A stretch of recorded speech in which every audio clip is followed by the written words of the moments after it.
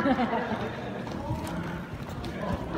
usually, it's just the maid of honor who makes the speech. But sometimes those of you who know Lisa know she likes the odd surprise. I have my own a way to make a speech at a wedding, right? Okay, so I have known Lisa for 18 years, and a lot of you, as I'm very close with the few years of my wedding, you know, Lisa actually sang me a song. So, here we go.